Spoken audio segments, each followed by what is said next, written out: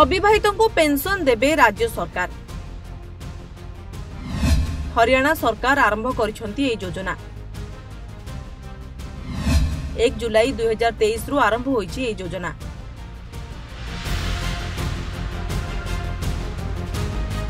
ହରିୟାଣା ସରକାର ଅବିବାହିତଙ୍କ ଲାଗି ପେନ୍ସନ୍ ଯୋଜନା ଆରମ୍ଭ କରିଦେଇଛନ୍ତି ରାଜ୍ୟ ସରକାର ଏହି ଯୋଜନା ଲାଗି ଅଧିକ ସୂଚନା ଜାରି କରିଛନ୍ତି এক জুলাই দুই হাজার তেইশর এই যোজনা লাগু হয়ে যাই কিন্তু এই পেনশন লাগি সরকার কিছু সর্ত রাখি যে এই সমস্ত সর্ত পূরণ করবে সে হি পেনশন পাইবা হকদার হবে ସରକାରଙ୍କ ଏହି ପେନ୍ସନ୍ ନେବା ପୂର୍ବରୁ ଅବିବାହିତଙ୍କୁ କିଛି ଶହେ ଥର ଚିନ୍ତା କରିବାକୁ ପଡ଼ିବ କାରଣ ସରକାର ଯେଉଁ ସର୍ତ୍ତ ରଖିଛନ୍ତି ତାହାକୁ ପୂରଣ କରିବା ଏକ ବଡ଼ ଆହ୍ୱାନ ଏହାପରେ ଯାଞ୍ଚରେ କେହି ଯଦି ଅଯୋଗ୍ୟ ବୋଲି ଜଣାପଡ଼ିବେ ତେବେ ତାଙ୍କୁ ଏହି ପେନ୍ସନ୍ର ଲାଭ ଉଠାଇବାକୁ ମହଙ୍ଗା ପଡ଼ିପାରେ କାରଣ ସରକାର ସୁଧ ସହିତ ମୂଳ ରାଶି ଆଦାୟ କରିବେ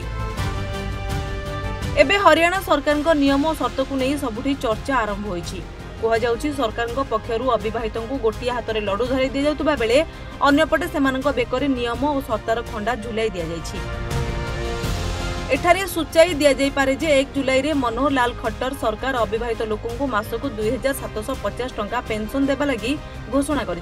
এই সম্বন্ধে এবে অধিক সূচনা জারি করা যাই এতে নিয়ম ও সর্ত বিষয়ে ফাইনাল করা যাই যদি কাহার বিবাহ হয়ে না কিন্তু সে লিভ ইন রয়েছেন তেবে এই পেনশন পাইপারে না ছাড়পত্র পাই ব্যক্তি মধ্য পেনশন পাইবে না ଯେଉଁ ବ୍ୟକ୍ତି ସରକାରଙ୍କଠାରୁ ଅନ୍ୟ କିଛି ଭତ୍ତା ପାଉଥିବେ ସେ ମଧ୍ୟ ଏହି ପେନ୍ସନ୍ ପାଇପାରିବେ ନାହିଁ ଯଦି କେହି ଅବିବାହିତ ଥିବାରୁ ପେନ୍ସନ୍ ପାଉଛି କିନ୍ତୁ ପରବର୍ତ୍ତୀ ସମୟରେ ତାଙ୍କର ବିବାହ ହୋଇଯାଉଛି ତେବେ ତୁରନ୍ତ ସରକାରଙ୍କୁ ଏ ବିଷୟରେ ସୂଚନା ଦେବା ଉଚିତ ଅନ୍ୟଥା କାର୍ଯ୍ୟାନୁଷ୍ଠାନ ଗ୍ରହଣ କରାଯିବ ଯେଉଁ ଲାଭାର୍ଥୀ ସାମାଜିକ ନ୍ୟାୟ ଏବଂ ଅଧିକାରିତା ନିର୍ଦ୍ଦେଶାଳୟକୁ ସୂଚନା ନ ଦେଇ ବିବାହ କରିବ ତାଙ୍କୁ ଦଣ୍ଡିତ କରାଯିବ ଏପରି ବ୍ୟକ୍ତିଙ୍କଠାରୁ ପେନ୍ସନ୍ର ପୂରା ରାଶି ଆଦାୟ କରାଯିବା ସହିତ ବାର ପ୍ରତିଶତ ହାରରେ ସୁଧ ବି ଆଦାୟ ହେବ লাভার্থীঙ্ বয়স পঁয়তাল্লিশ রু ষাঠি বর্ষ মধ্যে হয়ে উচিত লাভার্থী বার্ষিক আয় এক লক্ষ অশি হাজার কম হয়ে উচিত লাভার্থী নিজ পরিবার পরিচয়পত্র প্রতি মাসর দশ তারিখ পূর্ব জমা করা হব লাভার্থী বয়স ষাঠি বর্ষ হয়ে পরে পেনশন স্বতঃ বৃদ্ধাবস্থা যোজনার পরিবর্তিত হয়ে রিপোর্ট